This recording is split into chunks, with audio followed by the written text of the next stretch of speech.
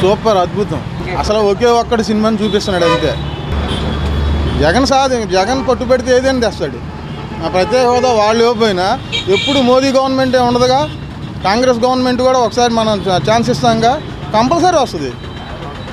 జగన్ దాన్ని ఎలా సాధిస్తాడని నమ్మకం ప్రజలుగా మాకు బాగా ఉంది. కూల్చిపార దొబ్బాలి ఇక్కడ చిన్న చిన్న గుడిసెలు వేసుకుంటే పేదవాళ్ళని అయితే మరి కూల్చేయట్లేదా?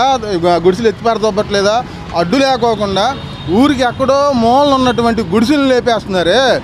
ప్రజావేదికను మరి కోల్చొద్దా? మీకు విషయం తెలుసా? ఆ గెస్ట్ హౌస్లు ఎందుకు కడుతున్నారు కృష్ణానది పక్కన? ప్యాకెట్లు ఆడడానికి వ్యభిచారం చేయడానికి మందు తాగడానికి.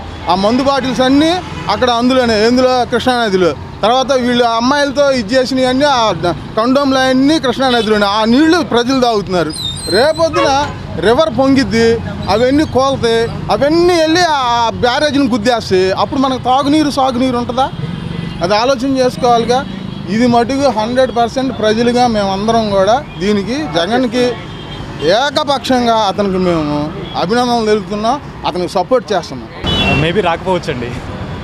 అదే చెప్తున్నాగా అండి డెవలప్మెంట్ కంటే ముందు మన వనరుల్ని కరెక్ట్ మనం యూజ్ చేసుకోవాలి. డెవలప్మెంట్ డెవలప్మెంట్ అని చెప్పేసి అన్న ఈ అక్రమ కట్టడాలు చేయడం పై స్థాయిలో పై స్థాయికి వెళ్ళిపోతున్నారు. డెవలప్మెంట్ అని చెప్పి. కింది స్థాయి వాళ్ళు కిందగా కిందికి వెళ్ళిపోతున్నారు. అలా కాకుండా డెవలప్మెంట్ అంటే కింది స్థాయి వాళ్ళు కూడా పై స్థాయికి వెళ్ళాలి. అది డెవలప్మెంట్ అంటే. ఆ నిజమైన డెవలప్మెంట్ మేము కోరుకుంటున్నాం.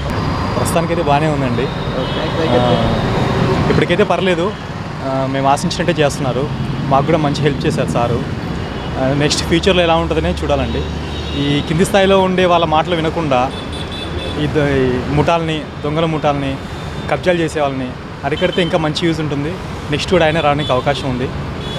ఎందుకంటే ఇదే మంచితనం ఇదే పేరు ఆయన నిలబెట్టుకోగలితే వాళ్ళ నాన్నగారి పేరు నిలబెట్టిన వాళ్ళు అవుతారండి. ఖచ్చితంగా మంచి హోపే ఉంది. స్టార్టింగ్ అయితే ఇంత లేదు ఇంత బాగా చేస్తారని అనుకోలేదు.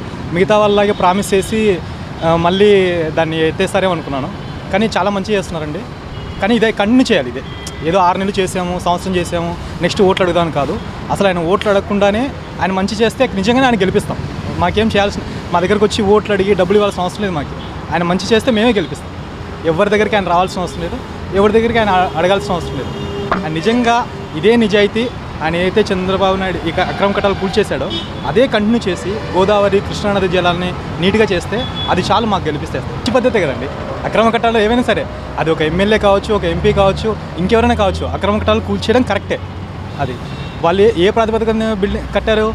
తాత్కాలిక ప్రాతిపదికన కట్టారు తాత్కాలిక ప్రాతిపదికన కట్టెలతోనూ చెక్కలతోనో కట్టాలి. అలాగే కాంక్రీట్తో కట్టకూడదు కదా. అది ఎవరైనా సరే వాళ్ళు ఏదో తప్పు చేశారు మనం దాన్ని సరిదిద్దాలి.